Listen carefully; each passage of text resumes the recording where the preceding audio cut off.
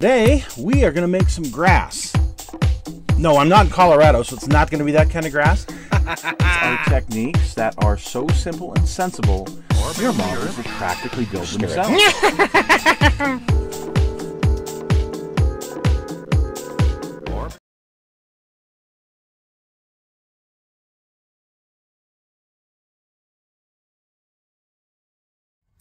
Hello, folks. It's Mad Dog Merv. Welcome to today's show. Today is going to be part two of showing you around my new uh, Elegoo. What is this? It's a Mars 5 Ultra uh, 3D printer.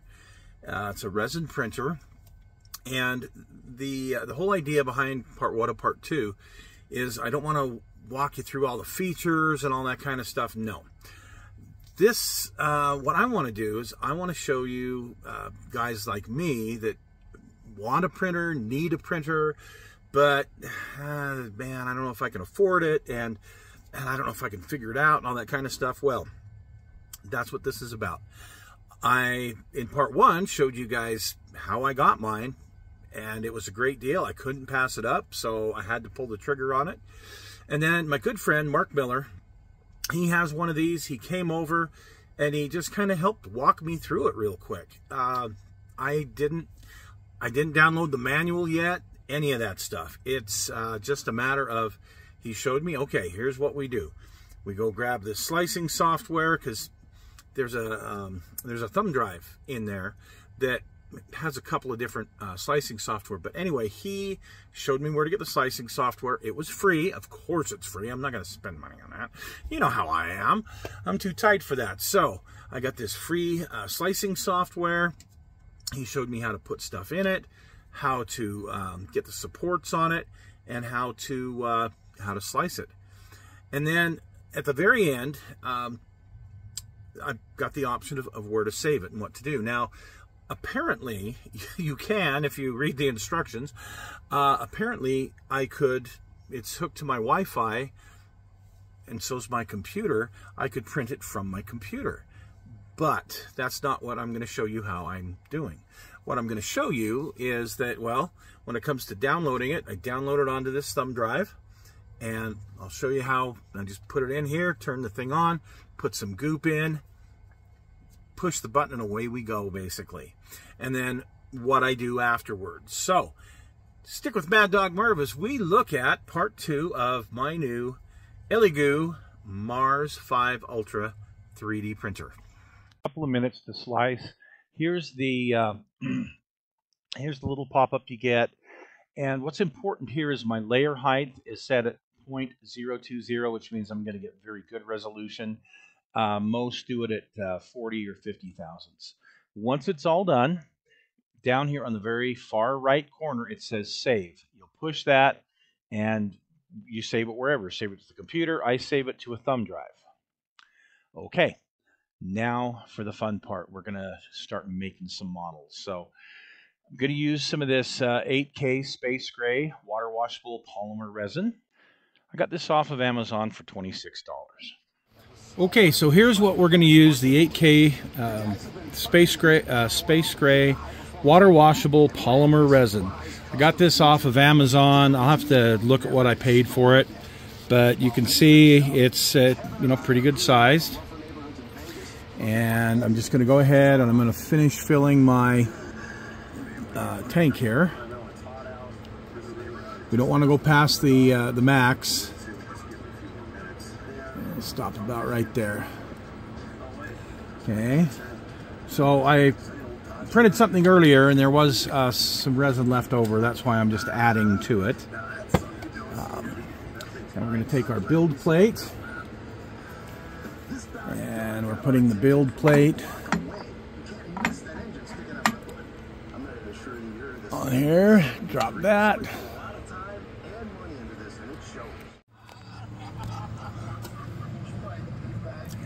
Okay, so we're going to turn it on. And then I'm going to put the thumb drive in right here where um, there's room for the USB. It's initializing. Okay, let's get to, there we go. It's going to run through this checklist here. We've got that in. We're going to go ahead and, uh, yeah, okay, just a second to calibrate. Okay, so I chose USB. I push, I can see what I've got here.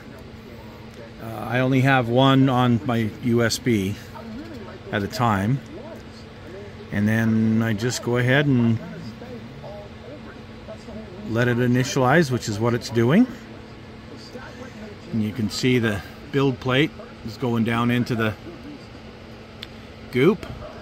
I went ahead and put the top on so I don't get anything, any debris in it, any flies, any anything else. And I have also, um, it, it helps keep the smell down. So, okay, it's done its uh, self-leveling. And we look down here. Here's the time and the percentage. You can see that this is going to be a seven and a half hour, estimated seven and a half hour um, print to do this. So we'll come back and check here in just a little bit and see what's going on. And once it's through printing, you just open the top, take the build plate off, and then you need to spray it off.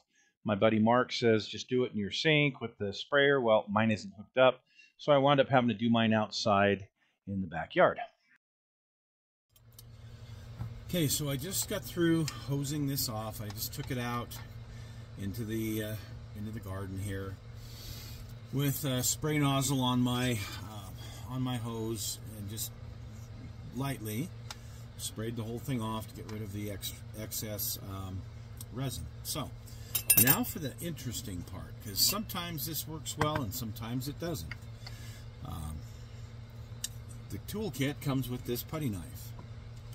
And I'm going to try to carefully, I'm going to have to show you the way I actually do it because it's, uh, I want to make sure I don't fling this stuff into, into next week.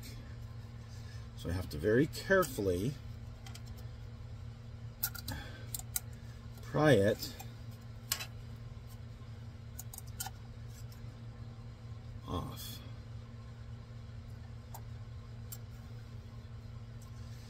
I've had one that I actually had to kind of chisel off, which really was the pits.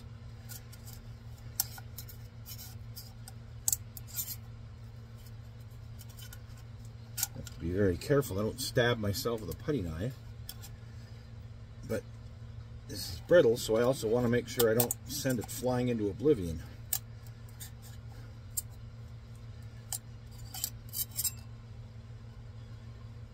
And there, I got my pieces off. A little bit left here. You can see some of the scratches I've got from having to chisel this stuff before. Not real happy about that.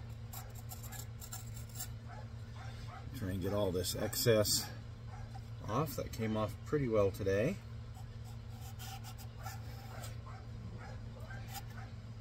Dog's going nuts over something.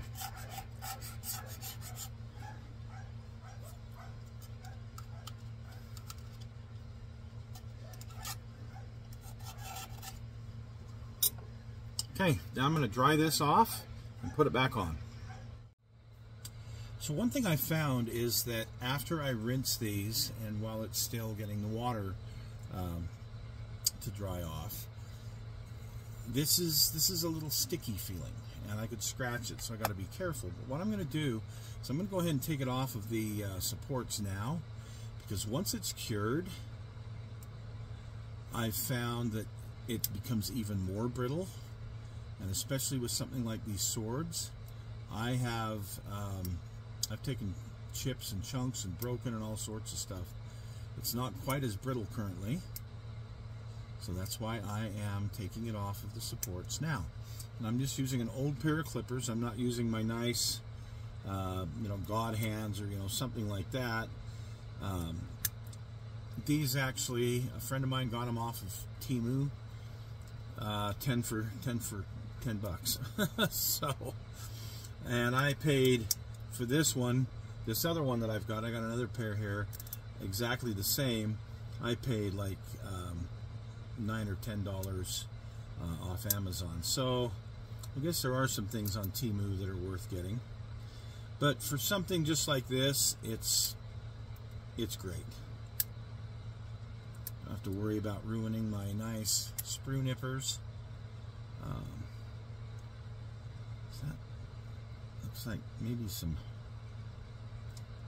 resin hardened on it, but anyway, so I was able to get it off okay. And I'll go ahead and do that with the rest of this, and I'm just going to put the parts in a little box here, and then I'm going to take it out in the sun. Well, here you go. I've got it off the build plate. I've got it washed. Now I'm going to clean off the uh, uh, the supports. Then I need to cure it, and I don't have a curing chamber. I'm not going to spend that money right now. So I take it outside, and here in Utah, the UV index is high in the afternoon. So I'm just going to leave it in the sun for about 15, 20 minutes, and should be just fine. Okay, now I'm going to empty out the, uh, the tub of resin. I'll take my jug, open it up.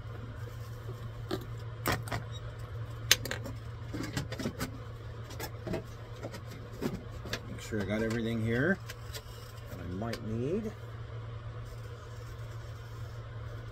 Uh, this was like seven and a half bucks, something like that on Amazon. Great, great buy. Comes with uh, these metal strainers you can put in here. And I'm just gonna unscrew, oh, just gonna unscrew the vat here.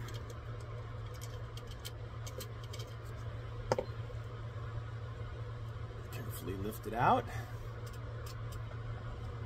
And pour the remaining resin back into the jug.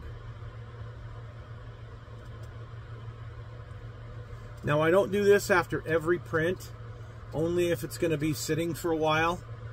I'm not sure what time today I'll come back out and do this, but we'll uh, we'll come back out in a little bit and do some more printing. But for right now, I'm going to go ahead and clean this out.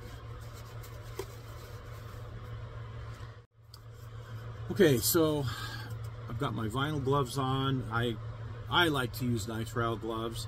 It comes with a few like four uh, uh, latex gloves. I can't imagine why with all the people that are allergic to latex. But anyway,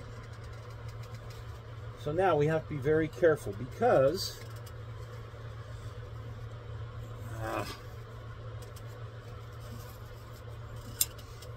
there's a clear film here and it's quite thin and we don't want to break it.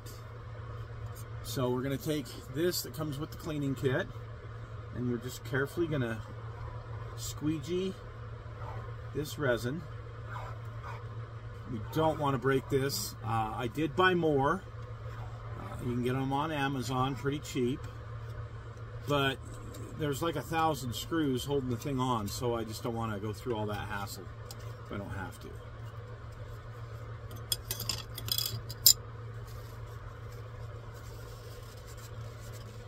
And then I'm just going to take some, you can use Windex or whatever. I have this pink glass cleaner that I use that I like. That's why I've got gloves on, is I don't want to be touching this stuff. I mean, I don't know, might make you grow a third ear or something like that. Or horns, but I already have those, so who knows. Anyway, yeah, we want to clean this out pretty good.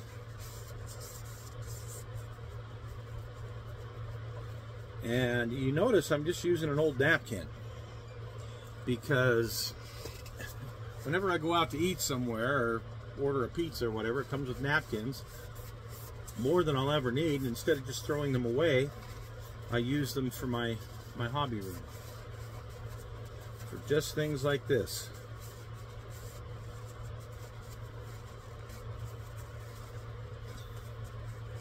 Okay clean and dry. And as you can see, yeah, there's a bunch of uh, hardware holding it in there. Now that that's clean, I'm going to put it back. Make sure this is all clean. And put the screws back in it. Okay, and here it is. Uh, got it assembled. Now, the curing, again, I just put it outside. Even with a cloudy day, it didn't take long. Okay, um, 15 minutes or so, and it was perfectly cured. So here's some of the others that I did. The one on the right is actually the first one I printed. It turned out great. And this character here, yeah, this is a lot of fun. And here's how Spidey is coming along now that I'm getting him painted. So hopefully this was helpful to you guys. And, uh, well, we'll see you again soon.